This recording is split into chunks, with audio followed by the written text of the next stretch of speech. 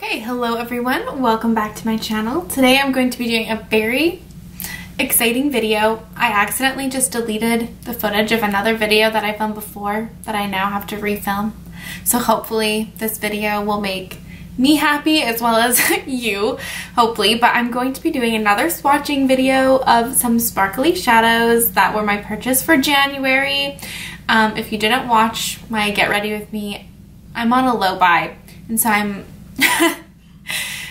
not buying as many things and so this was what I used my budget for for the month of January. And that thing was this middle row of shadows here. I don't have that many empty magnetic palettes so I can't like put them all in like one palette alone. But they are the Shine by S some Shine by SD shadows. They are the reserve collection, like the original Reserve collection. So there's seven like sparkly, shifty shadows here. I figured let's just swatch them together and then I'm going to just put maybe a couple of my eyes while we're here because why not? This is a black owned indie brand out of Halifax, Nova Scotia. Halifax has a very special place in my heart because my girlfriend did her undergrad there. So I spent a lot of time traveling back and forth um, to Halifax. I love it there.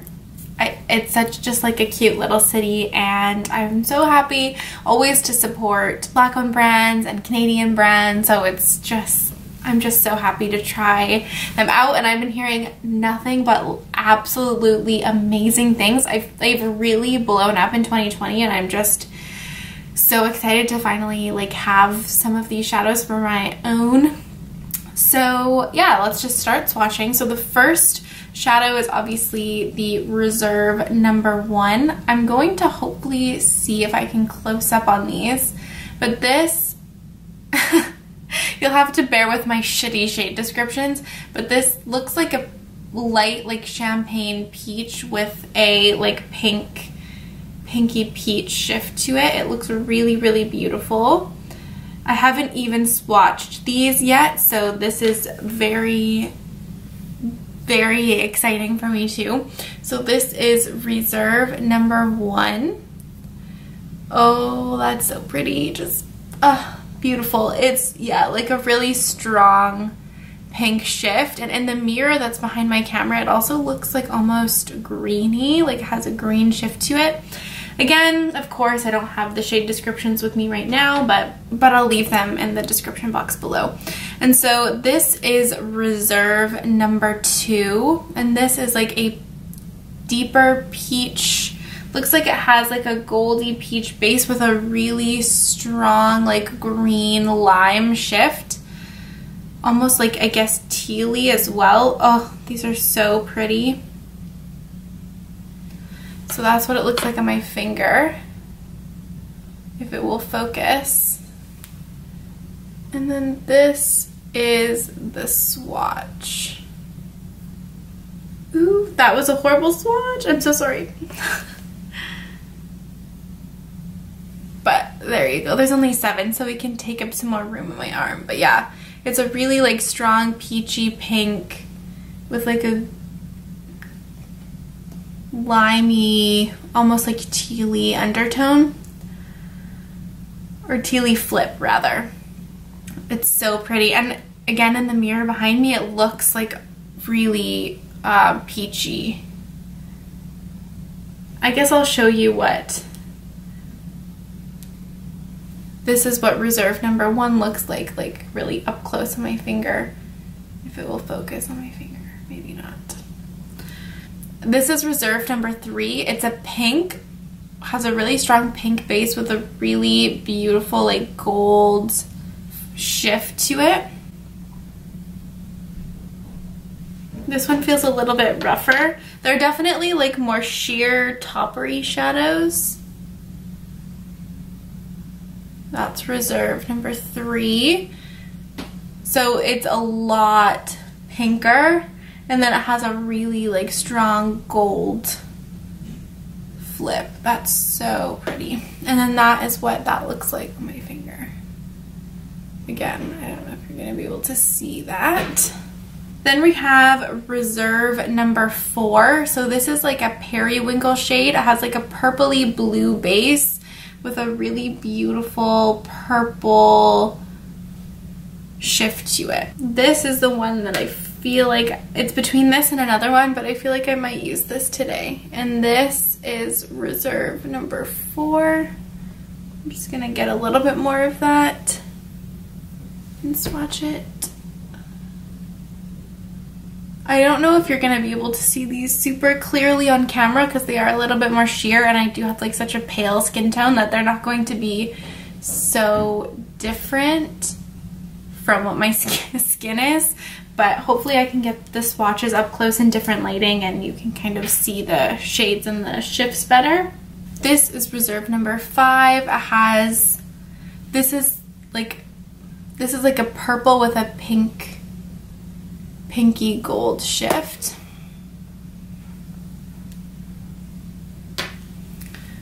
So this is reserve number five.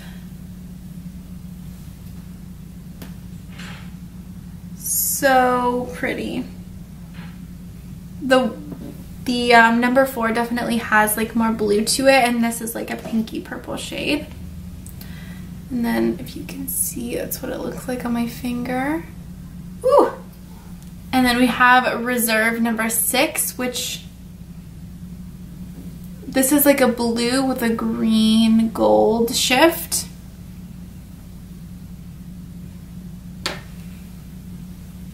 So this is Reserve number six. Oh, that's so pretty. Maybe I'll actually use this today. I think I might because I've done a lot of like periwinkle purpley looks recently. So I might use this. And then the last one, and then that, oops, sorry, that's what it looks like up close on the finger. And then the last one is Reserve number seven. This is also so pretty. This is like a yellow with a blue shift to it, it looks like. Yeah. That is so pretty. Maybe I'll use that on my inner corners. That's really beautiful. So those are all they're all the shades. They're really basically like sheer sparkly topper like iridescent shades which normally I don't really have a lot of. I generally go for like more of an opaque like metallic shade but I've I've really wanted to get more into these like iridescent, glittery, sparkly shadows this year and so I'm so excited to have these in my collection play with them. So I think I'm going to, like I said, use this blue because for some reason it's really just calling my name.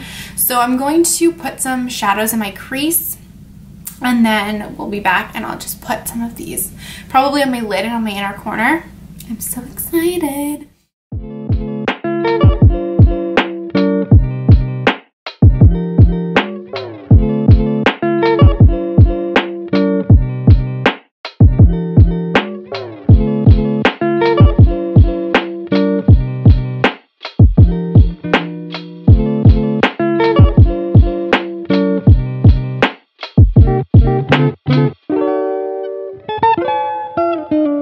Okay, so I just put a little bit of shadow on my lids and my lower lash line. I guess I'll have everything that I used in the description box as I usually do, but I guess I will also share it with you now. So from the Venus 2 palette, I used the shade Filter as my transition shade. It's just this very light blue.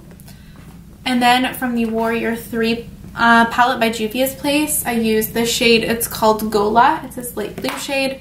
I use that in the majority of my crease. And then from my Makeup Addiction Cosmetics Meadow palette, I used the shade um, Crushed Blueberry. It's this deep blue. Actually, I forgot to put something on my brow bone. So I also used the shade Sandstone from this palette on my brow bone. But I haven't done a blue look in a while. I'm really loving it, honestly. Okay, so now it's time to apply some of these shadows. So I'm going to, like I said, use the uh, this bluey greeny shade. It's the Reserve number six shade. And I'm honestly just going to put that all over my lid because I feel like the best, um, the way that these shadows are going to shine the most is just applying them all over the lid. So I'm going to pick this up on a flat brush. I'm going to spray it with some water.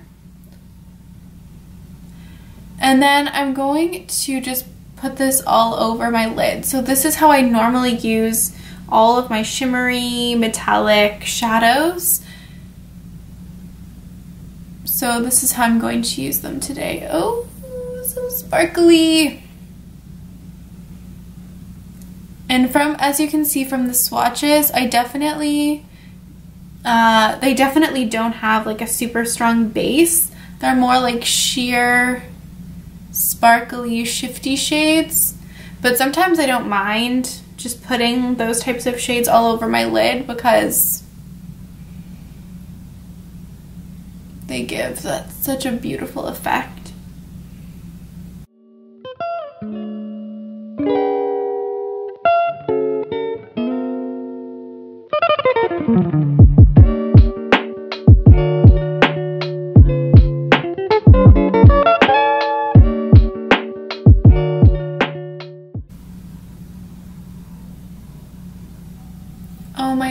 Goodness, that's so pretty.